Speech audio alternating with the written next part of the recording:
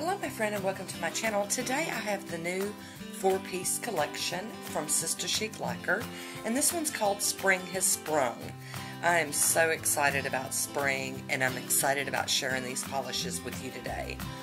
Debbie has a four-piece collection. We have Bunny Noses, Tender Buds, What's Up Buttercup, and this one is Robin Eggs. So the launch date's going to be April 1st. I wanted to throw in, Debbie put in a food for thought piece in her information page this time. And indie polishes should be shaken well about 20 minutes prior to application. It's one reason Sista Chic Lacquer puts two mixing balls into every bottle. It's our goal that each customer has the best polish experience possible.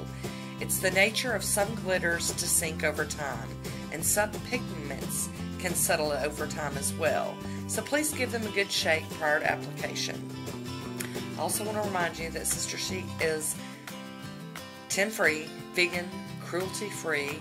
She offers international shipping and has reduced her international shipping prices for 2020 and free shipping US and international orders over $75. These polishes will be listed for $10 per bottle. So enough yakking. Um, I just wanted to get the business done, and now we're going to get on into the swatches. Now on my nails here, this was the last one I swatched, and I could not bear to take it off. Is that not stunning? Alright, so enough of my business. We're going to get into some swatching. First up, we have Bunny Noses, and I think that's the perfect name for this polish. And you all know how much I love me a pink polish. This one's just perfect. It's got an excellent formula, goes on so smooth, so easy. It levels out, beautiful, beautiful pink, and it is the color of Bunny Noses. Two coats, and here it is with the top coat and some nail art. Next up we have the blue one. Now this is the glitter bomb, you know, got the shimmer and the glitter. And this one is called Easter eggs. This one's really cool. It goes on a little faint. It's it's jelly squishy-ish, kind of. It's not a true jelly, but it's definitely got that squishy going on. And that shimmer that's in the background, I didn't know that it was going to go from the bottle to the nail like that. Shows up beautifully absolutely perfect. Now today I am going to do two coats and be done with it. Look, isn't that gorgeous? Two coats, beautiful. Next up we have Tender Buds and I don't have another green like this in my collection. Now I've got uh, maybe something a little similar but they're darker and not really, I wouldn't consider them a spring polish. This is the perfect spring green. I can picture it with all sorts of nail art going on.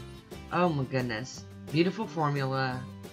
Two easy peasy coats. Look at this. Isn't that pretty? Mmm. Love it. Last up, we've got What's Up Dandelion.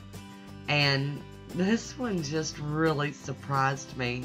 Um, I like yellow. I like yellow polishes, but I guess because most of them have bad formulas. I just don't reach for them often. But this looked so stunning on my nails. Um, like I said, it was the last one I swatched and I ended up wearing it for several days after I did all these swatches. I loved it. I enjoyed it. That shimmer is so pretty in there. Look, look, look.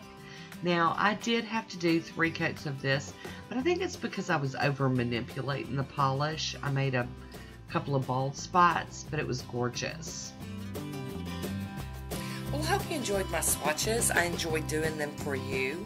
I will have a link for Sista Chic Lacquer down below.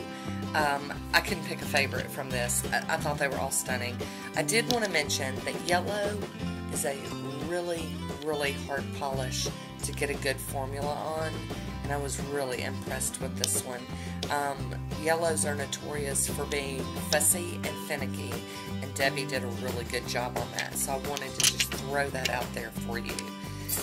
So that is it for me today. Um, yep, I will have a link down below and they will release on April 1st. So there you have it, sport fans. I want to thank you all for watching.